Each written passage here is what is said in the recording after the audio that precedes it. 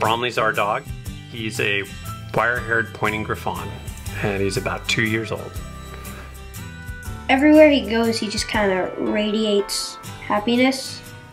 He's kind of clumsy. He'll be looking one way, and there'll be like a door or a cabinet this way, and then I'll hear something, and then I'll go. Brownie's just my favorite dog I've ever got. In May of this year, he was playing in our front yard, and he got hit by a car.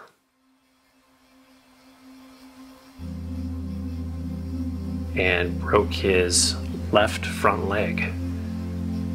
The doctors thought it was a simple fracture, and they said this is probably nothing to worry about. But it quickly got infected. The hardest thing is that he can't he can't talk to us. After a lot of sleepless nights and a lot of pain the dog was in, we had to amputate the leg. It was really hard to see.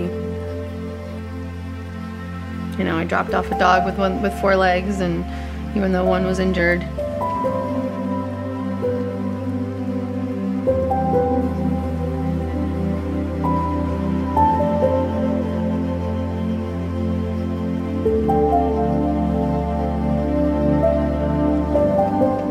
After the leg was amputated, it was like his muscles were all tensed up. yeah, It was really tight. He was barely moving around the house. And I'll never forget this. The boys and I were in the backyard just to, frankly, to have fun and burn off energy. I was racing against my 11 year old, and all of a sudden, my 11 year old just goes down. and Bromley had run after him and just chased him down in a playful manner. I don't know if running around just moved a kink or unknotted some muscles, but after that, he's been running around and playing ever since. every day I'm just so impressed with how much energy he has and how much he can just keep going and acts like nothing ever happened. You know, our companion is back. He got hit by a car, his leg got infected, and then he got it amputated, and he's still walking, and he's still trying to catch birds. Here's a three legged dog. When I get up in the morning, he's the one pulling me outside.